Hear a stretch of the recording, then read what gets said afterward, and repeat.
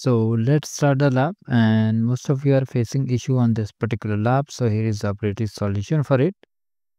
First of all, click on start lab and open the console incognito window. And do one more thing, come to task number one and from here just right click and open an incognito window. Now just click on use it for free. And here you have to enter the user details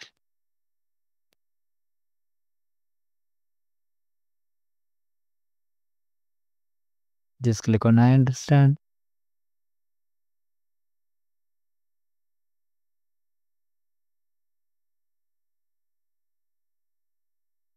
Click on this blank report. Select your country.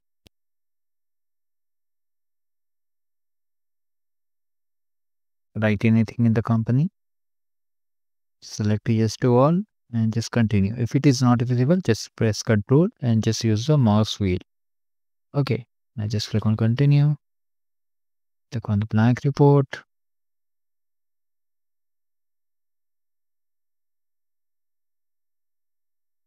From here, just select the BigQuery, authorize yourself, select student ID.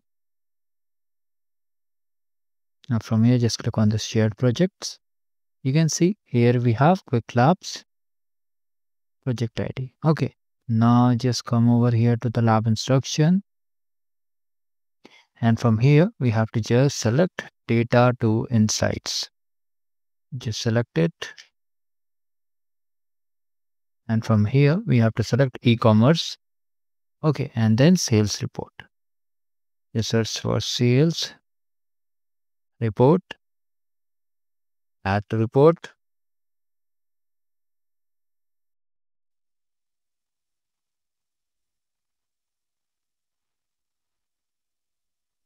So just click on add report and simply check the score for this particular task.